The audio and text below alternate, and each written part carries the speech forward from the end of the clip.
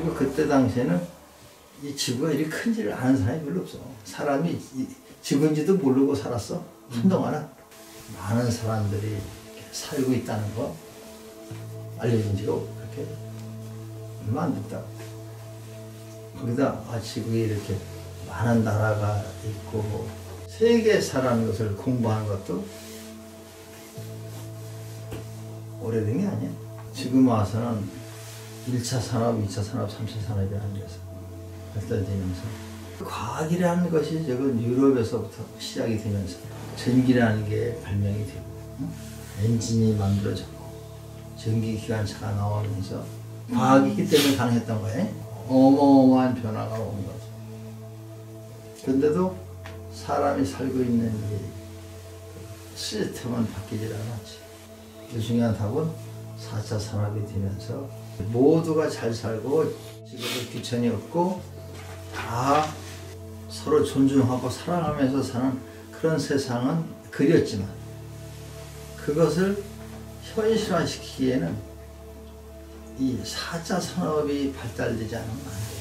4차 산업이 나오면서 이제 그 그런 깨달음 것이 바로 정신혁명이고 그 과학을 이제 정신과학이라고 해요.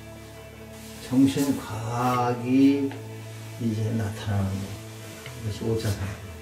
그럴 때 근데 정신과학을 통해서는 과학이기 때문에 믿을 필요는 없어. 과학은 믿는 게 아니야. 과학은 한국 과학 다르고 일본 과학 달라? 똑같은 거야. 과학으로서는 다 연결이 될 수 있어. 지금 국경으로 막혔고 문화라는 거로 막혔고 전통이라는 거로 막혔고 전부 달라. 근데 과학은 어떻게 돼? 그런 걸 전부 다가 통과하실 수 없어. 그걸 전부 통과하는 게 과학이야. 군사적인 목적으로 과학이 쓰여지면 그 과학은 파괴적인 거야. 그래서 노벨상을 어, 왜, 그, 왜 만들어졌는가. 그 다이나마이트를 만든 사람이 노벨인가 알지? 그 노벨이 다이나마이트를 만드는 그큰 건설업을 위해서 다이나마이트를 했는데 이거를 그냥 전쟁할 때 썼단 말이야. 그게 본인은 엄청나게 후회를 한 거야. 내가 만든 다이나마이트 얼마나 많이 죽은지 모르고 그 자기가 벌은 돈을 다 내놨어. 나는 과학자지만 그 사람은 그 과학이 잘못 써지는 것을 참회하면서 노벨 평화상을 만들어야 되겠다 이래가지고 그 돈을 갖다 다, 다 내놓은 근데 매년 노벨 평화상을 줘도 평화로워지진 않아. 그거 갖고 되질 않아. 근데 그 후로 다이나마이트뿐만 아니라 원자 폭탄이 나왔어. 그 과학의 권력에 의해서 쓰여지게 되면 결국은 그 과학은 사람들에게 희망이 될 수가 없어. 모두가 다 평등하게 존중받고 살 수 있는 그런 평화로운 세상을 위한 쪽으로 쓰여지는 그러한 정신 과학이라는 거예요. 정신 과학이 될 때 가치가 있어요. 다시 얘기해서 차별이 없는 그런 세상을 인간이 만들 수 있겠다. 4차 산업을 이해하려면 원래 컴퓨터를 많이 할 줄 알아야 되잖아.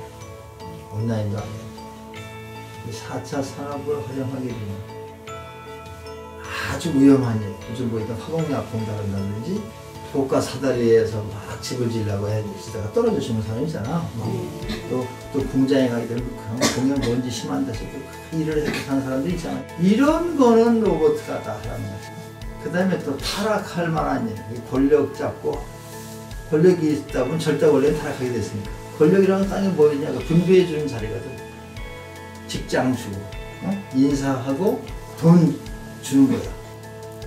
위험한 일을 하는 거든지 타락할 수 있는 일은 알파고가 한다면 뭐 타락할 리가 없잖아요. 그러게 되면 훨씬 일이 쉬워질 거야. 알파고를 시킨다는 거죠. 뭐 국민이 센 세금을 정확하게만 쓰면 괜히 싸울 일도 별로 없어 그러니까 돈 때문에 싸우는 거 아니야 다들. 예. 그럼 갈등이 별로 없는 거야 그러니까. 그 다음 사람들한테 이렇게 알파고가 하는데 탈세가 되겠어. 타차 산업을 통해서 대량 생산이 가능하다. 그러면 4시간만 일하면 된다는 거예요. 8시간이 아니고. 그것도 토요일 날, 일요일 날 쉴 뿐만 아니라 금요일 날부터 쉬도 돼요. 그리고 휴가도 1년에 두 달. 앞으로는 과학이 세상을 살리는 게 아니라 어, 정신 과학이 세상을 살린다. 근데 정신 과학의 중심에 뭐가 있냐? 깨달음이 있다.